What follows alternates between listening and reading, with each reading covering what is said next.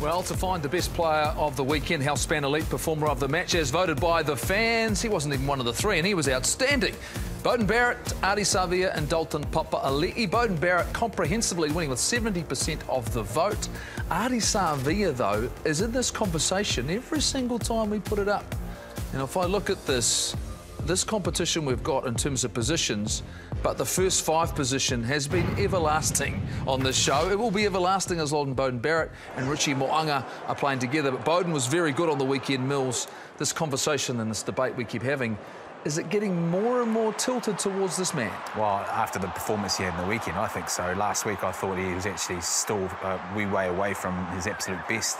This is glimpses of of, of, of him being, you know, the, the well, the uh, the best player in the world, you know, um, and it was a magical performance in terms of what he did, but also being back in, in control of the guys and how they sort of, you know, managed their play. JK, I want to ask you this question. For so long, under the Steve Hansen regime, you talked about the fact that players didn't lose through injury or, or opportunity. Um, they didn't lose their spot. Is this different with this group with the fact, you know what, if you play well and continue to play well, because Richie Mo'unga, while waiting for obviously the latest addition to his family, he wasn't in Australia. Does that all of a sudden mean that they've changed philosophy within the All Blacks?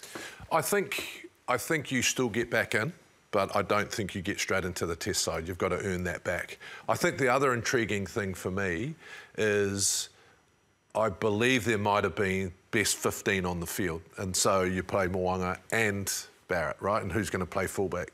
I think what this selection committee seems to be doing is competing in that position. And I think it's bringing the best out in both those players. Um, the hardest thing, Mills, and this is probably a question for you, you know, will Jordan probably get selected because of his form against the United States? But Mo'unga went pretty well. Mm. So is going to be out this this weekend, but does playing Rome form against, uh, you know, Italy count? To put them in contention, or are we looking for them to share up the last two?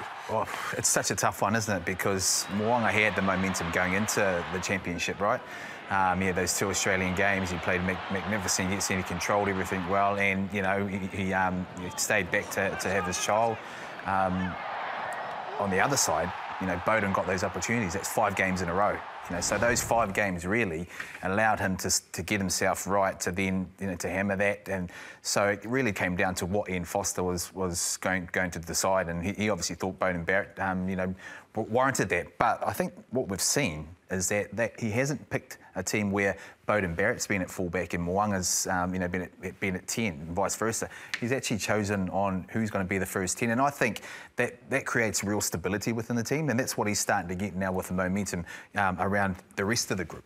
I'm not convinced, JK, they've got a plan already going into France. I think they're waiting and seeing what happens over the next couple of weeks. They'll look at the guys and how they are physically, how they are mentally. But I think the inside running is there for a number of players, the likes of the performances of Ardie Savea at number eight, Dalton Papali'i at open side flanker, someone I know you're big on. Where does that leave the likes of Sam Cane and Dane Coles? Right now, for the rest of this tour, is it about playing a support role, playing against Italy, and do they have to wait for their next opportunity to start in a test match? Well, I, I want to just throw a question to you. I'll answer the question you asked me, but I want to I want to talk about Jordie Barrett, whether his long kicking um, game has actually made an influence about making sure he's at fullback.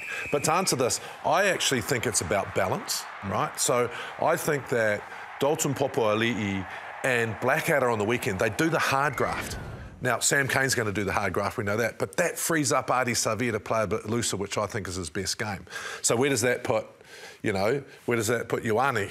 Where does that put... Jacobson. Jacobson. Where does it put those guys? And I think when you, I mean, we have gone through centuries of talking about midfield combination mills, but also about the balance in your loose forwards. So, you know, like I said before, I don't know if it's going to be the best 15 on the field anymore. It's going to be the best combination. So is that Blackadder.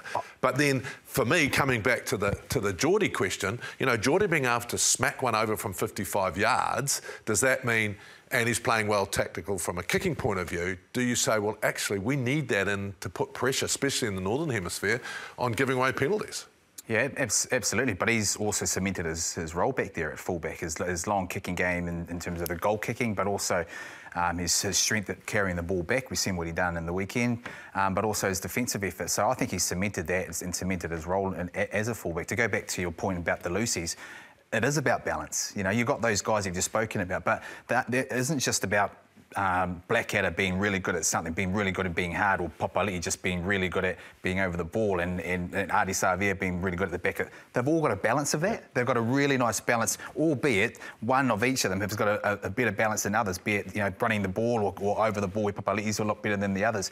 That's where it's going to come down come down to, and that's what's really working really nicely. The the overall balance of, of, of their game, and it mixes really well. In terms of Sam Cane and that coming back, this this tour for them is about them coming back. I don't think you're going to get them playing in the big matches. It's about him being able to get himself right, get up to the level where his leadership is probably more important off the field than what it is on the field. So I'm not anticipating him to actually, you know, stake a claim for a starting position. It's more about him for the future next year when he when he rolls back out, and, and, also Dan Coles, you know, those sort of types. But we need their experience off the field wholesale changes is what I expect for this weekend against Italy. It's bringing some guys back. It's giving the likes of a Josh Lord another opportunity in the All Black to uh, develop. Maybe welcome back a Shannon Frizzell. A number of guys who are returning from injury. I think at the moment they're starting to settle on the guys they want for the big games.